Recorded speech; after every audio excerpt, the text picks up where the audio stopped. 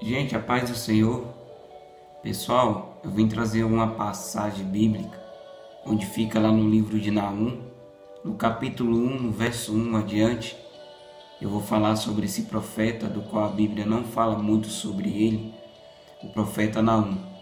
Eu vou ler e vou frisar em algumas partes para a gente comentar, para mim explicar para vocês. Sentença contra Ninive livro da visão de Naum, o Eucosita. O Senhor é Deus zeloso, é vingador. O Senhor é vingador e cheio de ira. O Senhor toma vingança contra os seus adversários e reserva e reserva indignação para os seus inimigos. Eu vou parar aqui. O profeta ele diz que Deus ele é zeloso ele também diz que Deus ele é cheio de vingança, né? Cheio de ira.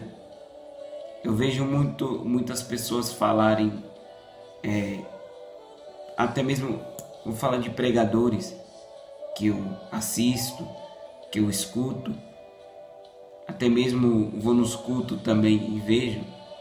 Eu vejo muitas pessoas falarem de bênção vejo muitas pessoas falarem de milagre e de prosperidade, mas esquece o outro lado de Deus, que Deus é vingador, que Deus é justo, que Deus ele ama a justiça, que Deus ele é, é, é juiz, que Deus ele é, é, como eu posso explicar, que Deus ele ele pesa na balança aqueles que fazem o mal as pessoas falam muito disso e daquilo, mas temos que entender que existe o céu e o inferno.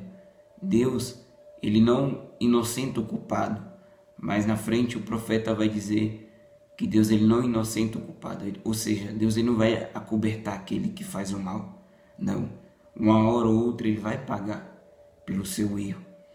Sim, ele pode perdoar, ele perdoa os seus pecados, ele sara suas feridas. Ferida essa que pode ser espiritual ou física. Você que está com uma doença, com um câncer, com um tumor, ele cura porque ele é Deus. Mas também temos que entender que ele é, ele é Deus de amor, ele é Deus de paz, ele é Deus vingador. Ele não só dá a bênção, mas também ele tem o outro lado dele. As pessoas pregam muito que Deus ele é isso, que Deus é aquilo, que Deus é amor, ah, isso, aquilo, sabe? Iludindo o povo. Não, não, não é assim. E muitos já chegam para Deus com interesse, ou seja, se ele não me dá uma casa, eu não vou aceitar ele. Ou fica até por um tempo dentro da igreja, viu que Deus não deu aquilo que ela pediu, ela pega e sai, porque ela foi ganha com isso. Ela foi ganha com a prosperidade, ela foi ganha, ah, Deus vai te dar isso, e ela fica esperando. E ela vê que Deus não deu, ela pega e sai. Porque em nenhum momento, eu estou aqui com a minha Bíblia em mão, em nenhum momento eu li que Deus prometeu que ia me dar riqueza.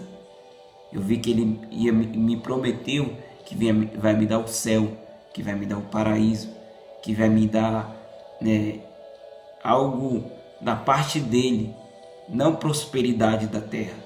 Ah, José, mas ele não pode dar? Sim, ele pode dar.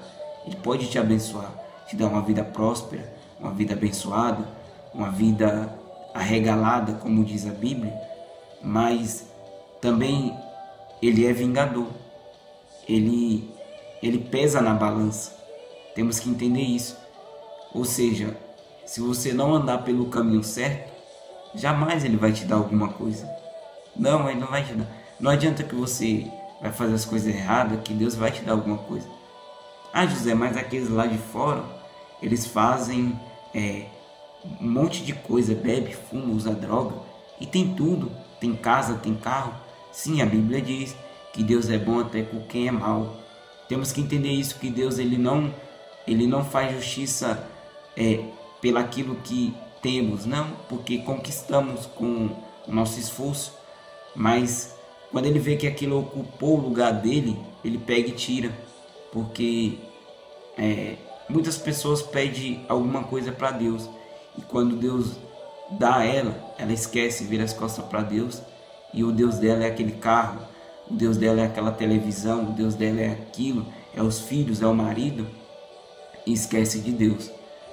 E o profeta vai dizer no capítulo, no capítulo 1, no verso 3: O Senhor é tardio e ira-se, mas grande em poder, e jamais inocente ou culpado. O Senhor tem o seu caminho na tormenta e na tempestade, e as nuvens são o pó dos seus pés. Olha para você o quão grande é o nosso Deus. Ele, as nuvens são a poeira de seus pés. E o profeta diz que ele não inocente ou culpado. Isso é bíblico. Vocês podem abrir em Naum, no capítulo 1, no verso 1.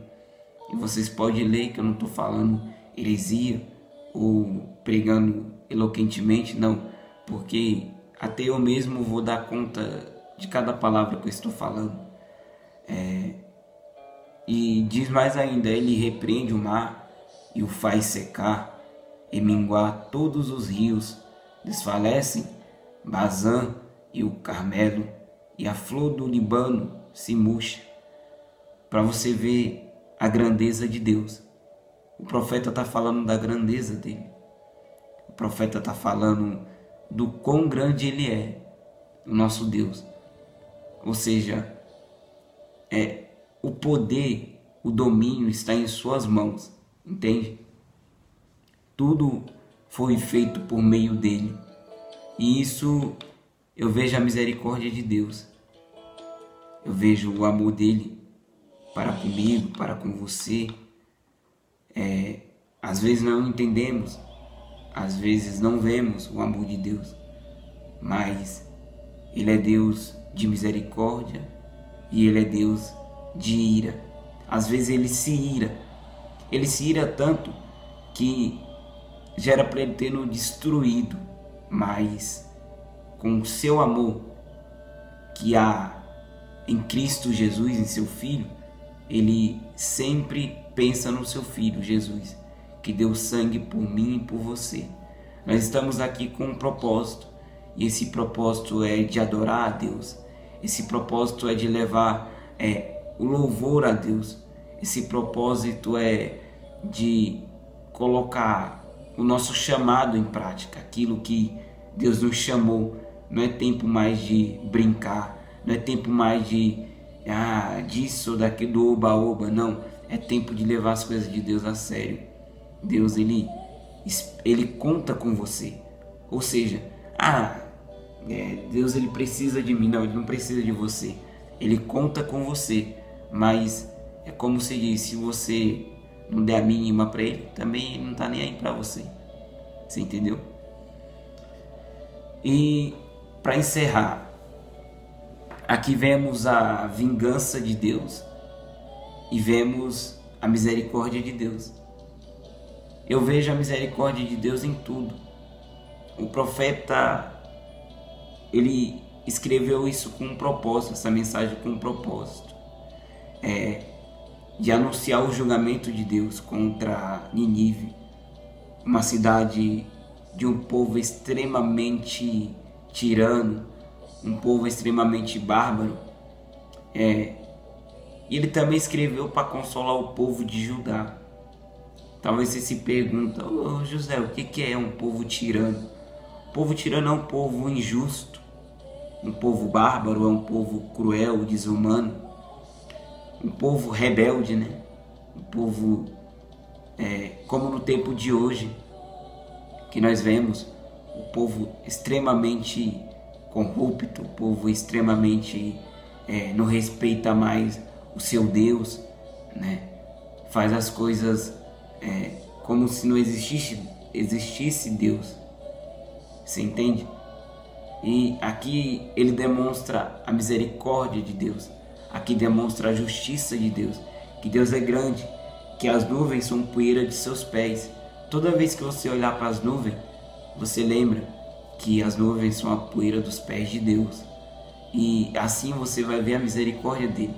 No seu falar, até eu falando aqui, isso é misericórdia. Sim, até o sentado aqui, isso é misericórdia, isso é graça.